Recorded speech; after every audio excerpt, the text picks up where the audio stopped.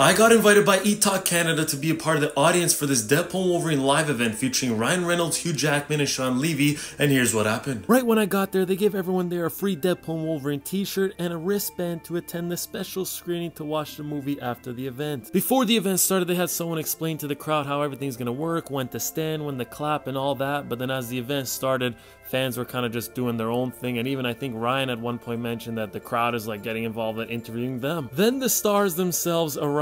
Shawn Levy, the director, Ryan Reynolds, and Hugh Jackman, and the great host from E-Talk to interview the big three, Tyrone. Shout out to the bro David who was also there and you could see me in his video, and I didn't know my braids were that long. The interview was over an hour long and it was great listening to their answers.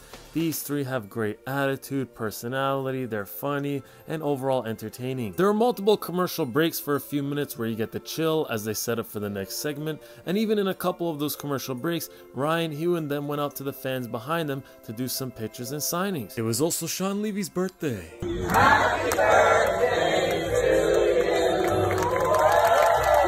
We even got invited to a wedding. You get an invite. You all get an invite.